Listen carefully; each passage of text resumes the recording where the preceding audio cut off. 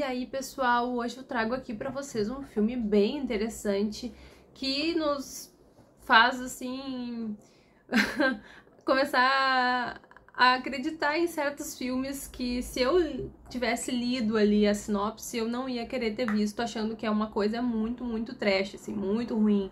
Mas não, esse filme surpreende, principalmente se tu não lê a sinopse, mas ela também não tá entregando muito assim ali as coisas, que é As Ruínas. Esse é um filme achado ali na Netflix de 2008, que traz a Jenna Malone, que é bem conhecida, e o Shawn Ashmore também, uh, falando justamente assim sobre ruínas em Cancún, ali no México. Então é, é sempre aquela coisa assim, que ali no México tem aqueles rituais, né? Aquela coisa mais uh, antiga, assim, arqueológica, tem aquelas ruínas famosas. Então é, esse filme fala sobre isso, que ali é um grupo de, de jovens que, como sempre, né?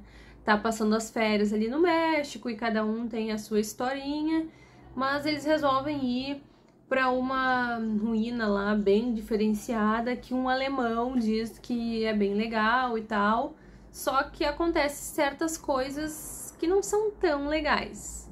Então, né, fica a critério de vocês aí assistir esse filme, mas eu gostei bastante, me surpreendeu. Ele, apesar de uma coisa estranha, que é o que acontece ali, porque literalmente parece um filme muito ruim, uh, mas é um filme que dá certo, por incrível que pareça.